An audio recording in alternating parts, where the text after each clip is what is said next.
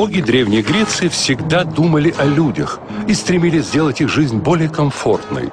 Именно этим они занимались, восседая на горе Олимп. Ну что, Гермес, чем нас порадуешь сегодня? Придумал новое словцо. Пиздец. Как? Пиздец. Для усиления эмоциональной окраски речи. Его можно использовать в конце предложения. Это как? Ну, вот, например, «О, все, наелся, пи***ц». Ну, или можно его использовать как реакцию на что-либо. Вот, например, я к вам прихожу и говорю, Зевс, война, а вы мне, «О, пи***ц». Прикольно. Мгм. Да это вообще слово, оно применимо везде. Я вам сейчас докажу. Называйте мне любую эмоцию. Радость. Пи***ц. Сожаление. Восторг.